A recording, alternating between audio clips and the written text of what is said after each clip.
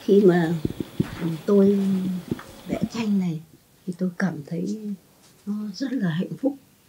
Và tôi coi như là uh, cuộc sống thì phải ăn. Bởi vì người ta nói ăn để mà sống. Thì tôi cũng thế. Vẽ tranh cũng như thể là khi mà tôi được ăn.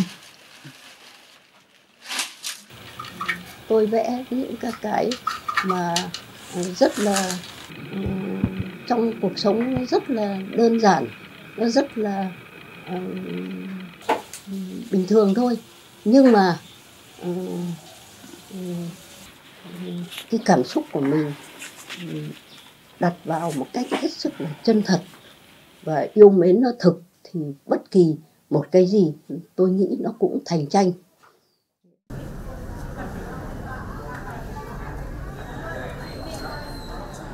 Tôi xin dừng lời tại đây và nhường lời cho uh, những người có thể nói là hiểu tác phẩm của tôi rất nhiều.